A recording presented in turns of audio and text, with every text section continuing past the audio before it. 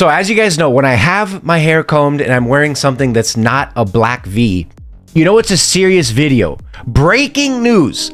PUBG Mobile deletes. PUBG Mobile defrosts the Glacier M4. There's no shot. There's no shot if I open up the crates and I click on classic. There's no shot I don't see the Glacier M4 in there, except that's exactly what's going to happen. What the hell is going on at HQ?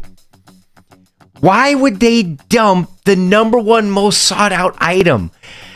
I mean, it's every content creator's dream to get the Glacier M4. Everybody remembers where they were, the date, the time, what the event was, what they had for breakfast that day. Everybody remembers what they were doing the day they pulled the Glacier M4. It's such a monumental thing. And think of all the people that don't have it. So we're going to take a look at that. There's also a new way. So they get rid of the number one most sought out item, the Glacier M4. But then they add a new way to monetize. I mean, wait, wait until you guys see this, but I'm getting ahead of myself. We're gonna we're gonna stick with this first. So as you guys can see, we're in the classic crates, right? Remember, this was, I mean, everybody, this is on everybody's wish list. You can already tell it's gone. Look, we got the mythics up at the top, a chance to get that thing. And it was a, it was a legendary. It was a purple. It used to be a blue. Then they made it a legendary. And it's, it's literally not here. Why? It, does that make sense to uh, anyone? I mean, and not to mention the people paying for it, trying to pull one, you know, with their luck. Then you had all the people that were saving coupon scraps that were actually farming, you know, their missions, you know, farming their, their free roll passes, getting any scrap that they could with silver they could muster up just for a chance to pull one of the only, if not the only, gun lab weapon, which is like the most iconic, it's the most iconic weapon in the game. The Glacier M4. And it's not in, is it somewhere else? Is it somewhere? I don't see it. What I'm hoping is that this is a huge mistake. I mean, obviously someone's getting fired over this, clearly. But I mean, look, there's three lucky spins going on. It's not in, no, for a second, for a split second. I thought it was this, but this is the Icicle Mini. I wouldn't actually mind pulling that, to be honest. I've been rocking the Mini quite a bit. They have the Icicle Mini. They got all the attachments for it, but no Glacier M4. What, what is the comment? What is the comment section going to say over this? That's the question.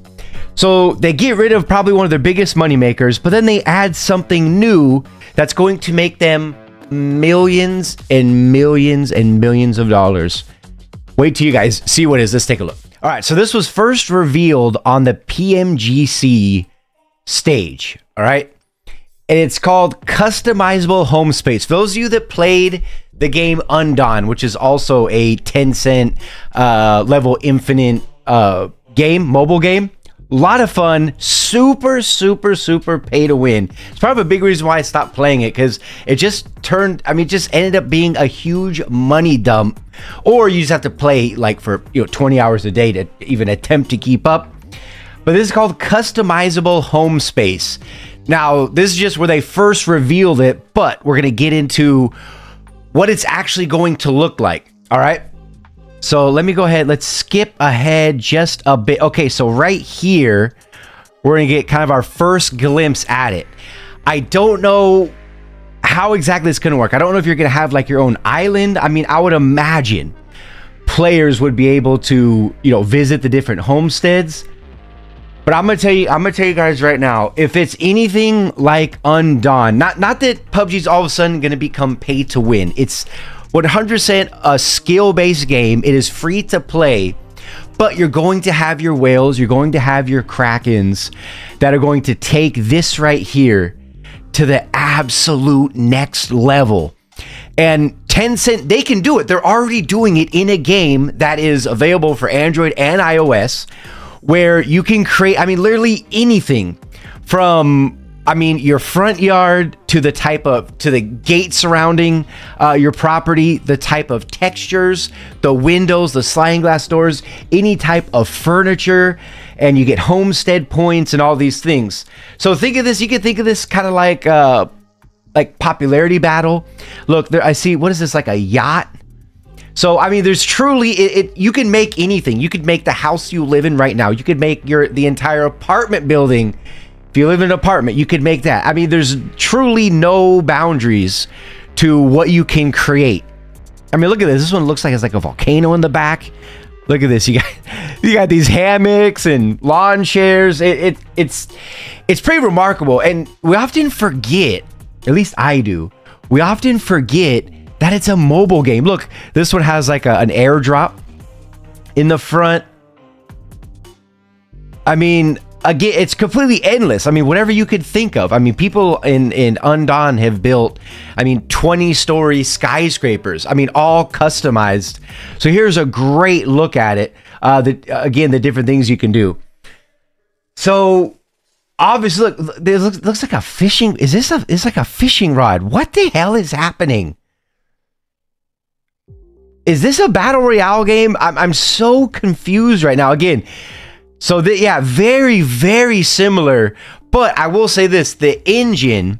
I mean, I think both games are Unreal Engine, but as far as optimization, no, nothing beats PUBG Mobile. I mean, truly, nothing beats what they've been able to accomplish, even in comparison to character movement. When you look at Undawn versus PUBG Mobile, there's truly no comparison as far as uh, the level of detail and just how smooth everything runs.